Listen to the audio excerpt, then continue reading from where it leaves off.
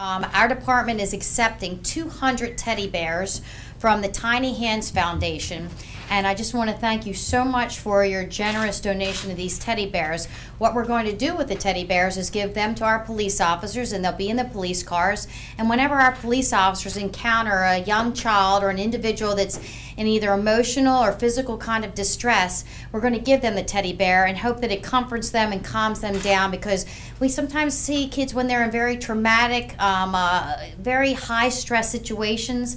And uh, when you get a teddy bear, and even as an adult, you just want to hug onto the teddy bear. It makes you feel better. It makes you feel safe and comforted. And I just want to thank you so much for your generous donation. And, and would you like to add a few words about your Well- organization and what uh, what your goals for doing this is? Well, you, you, you articulated most of it. We're very, very excited at the Tiny Hands Foundation to offer this and, and really hum- humbled to be able to do this. And, you know, if- if, if we can uh, comfort one child in a traumatic situation, we've accomplished our goal. And we also hope that, you know, if uh, a child gets a bear from an officer and ha- that child has a need in the future, this will uh, soften that experience with the officer and they won't be afraid to they won't hesitate to ask for help if they need it in the future.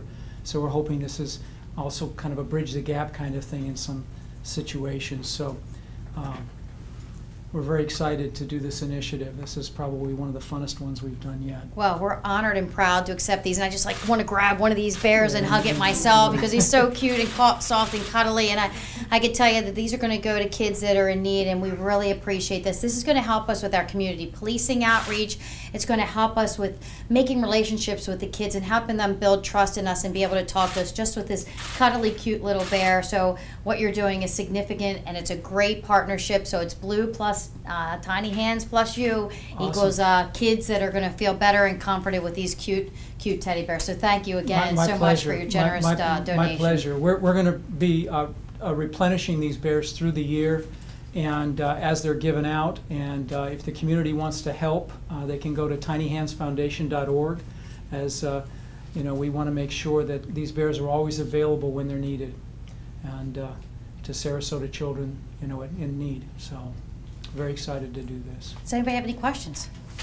Is this the first agency you guys have donated bears to? I know you mentioned Bradenton maybe later this month. Uh, we, we, uh, this is the first time we've done this. Yeah, we've, we've, uh, uh, the Tiny Hands Foundation has fed thousands of children over the years for, for the holidays. We do big baskets of food for the holidays. We also, uh, uh, this year started our first backpack brigade where we gave 1,500 backpacks to children so they'd have school supplies.